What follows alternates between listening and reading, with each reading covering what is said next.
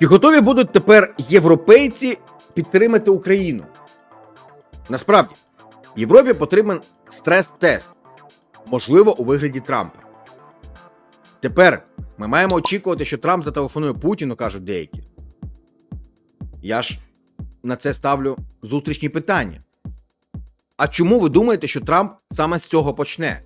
І друге, якщо він навіть говоритиме з Путіним, чому наше питання прозвучить першим? Трамп неодноразово говорив, що хоче відірвати Росію від Китаю, наприклад. Він не може собі дозволити бути слабким, тим більше здаватися слабким, оскільки це не заходить його виборцям, американцям взагалі. Трамп не може дозволити собі різко рухатися без того, аби мати сильну позицію, бо він бізнесмен. Він розуміє геополітику як ти мені, я тобі. Але щоб стартувати на ти мені, я тобі, потрібно зрозуміти, які сильні сторони та козирі у нього є. Тому зараз почнеться геополітика з нульовою сумою. І у Трампа це завжди або виходило, або не виходило. Але він любить у це гратися. І взагалі, сама логіка геополітики зараз має дещо інший вигляд. Трамп не є фанатом Ірану, точно не є фанатом товариша Кім Іна. Тож його погляд на світ доволі радикально відрізнятиметься від сьогоднішньої адміністрації. Щодо нас, логіка адміністрації чинного президента Джо Байдена це логіка, що веде до війни на виснаження. І з тим, що вони для нас зробили і по зброї, і по багатьох інших речах, це звичайно те, що увійде в історію. Але Трамп не є фанатом якихось довгих процесів. Він точно розуміє, що війна на виснаження це не його історія.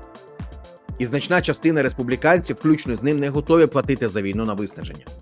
Тому і тактика, і стратегія, а особливо тактика Трампа, будуть докорінно іншими. Думаю, Путін привітав Трампа по каналах зв'язку, які в нього, звичайно, є, не публічні канали. Тож у мене викликає усмішку слова прес-секретаря Путіна Дмитра Піскова. Ми не впевнені, чи буде Путін вітати Трампа, бо це не дружня нам країна. Чи будуть вони і далі гратися у гру? А американці не такі. Нам потрібно, аби вони стали більш дружніми до Росії. Це питання внутрішньої політики. Це сигнал, до речі, для європейців, для незахідного світу. Гра, в яку намагаються грати у Кремлі. Через це всі ті нісенітниці імені Піскова. А те, що Путін привітав Трампа, абсолютно очевидно. Тільки він зробив це на свій путінський кшталт. У прем'єра Угорщини Віктора Орбана аншлаг. Європейське політичне співтовариство у нього збирається. З Орбаном і раніше спілкувалися щодо виходів на Трампа, але в нього тут немає монополії. Є інші праві політики, які цінуються і Трампом, і в його таборі. Це прем'єр-міністерка Італії Джорджа Мелоні, колишній британський прем'єр Борис Джонсон, який має свої особисті контакти. Тому в сенсі того, хто може бути медіатором чи посередником, нестачі немає. Питання, що і як ми хочемо сказати, що і я хочу сказати європейці. Трамп ніколи не був великим фанатом сьогоднішньої Європи. Завжди вважав, що вона живе за рахунок Сполучених Штатів і в безпековому і сенсі, і в соціальному.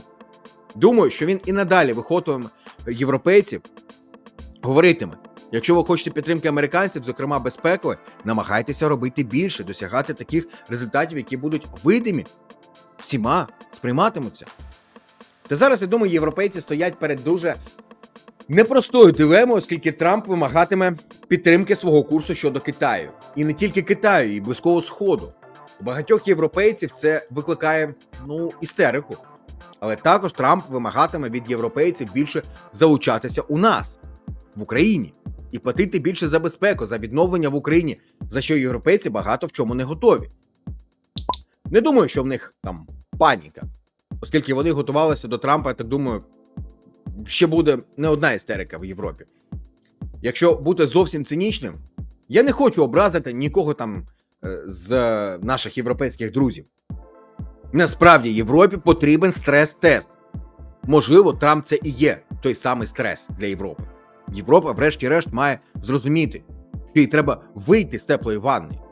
Вона намагається голову піднімати, але вийти поки ще не готова. Чи Трамп буде цим поштовхом?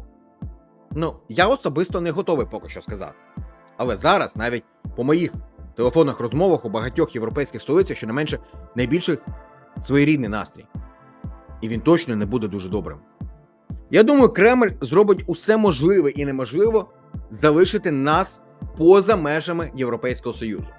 У нас дуже накручене емоційно, дуже вразливо у цьому сенсі суспільство, і будь-які зради будуть розкручуватися як пожежа на полях.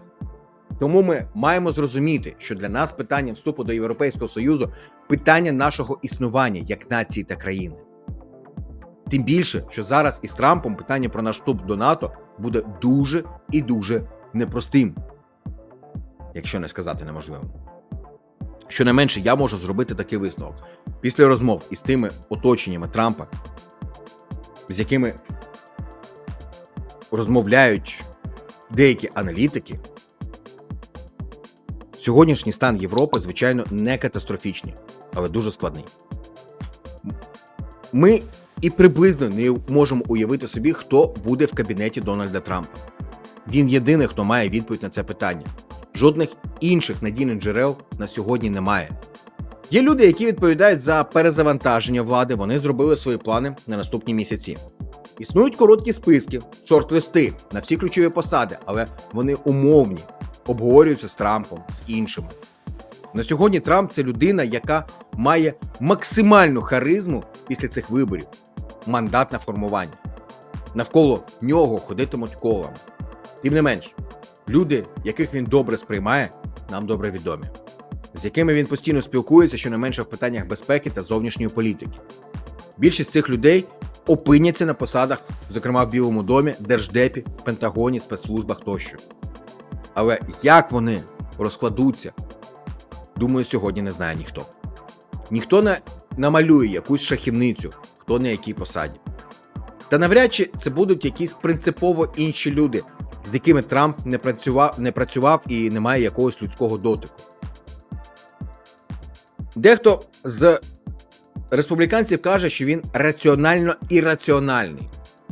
Визначити, кого і як він призначатиме, як вестиме питання, зокрема по зовнішній політиці, ніхто станом на сьогодні не скаже. Як на мене, з Трампом у нас будуть набагато більші, звичайно, ризики, але набагато більші шанси та можливості, як і є в економіці. Коли ви інвестуєте в ситуації з більшою невизначеністю, ви маєте більші ризики та більше можливості. А те, що ми сприймаємо ризики, має нам тут хоча б допомогти. Друзі, нагадую, щоб ви не забули поставити вподобайку цьому відео, і якщо ви ще не підписані на канал, то саме час це зробити прямо зараз. Також дуже і дуже вітається поширення цього і всіх інших наших відео у соцмережах. Також в описі до цього відео є посилання на наш телеграм, де ви завжди будете в курсі всіх подій. Підпишіться, будь ласка, і там.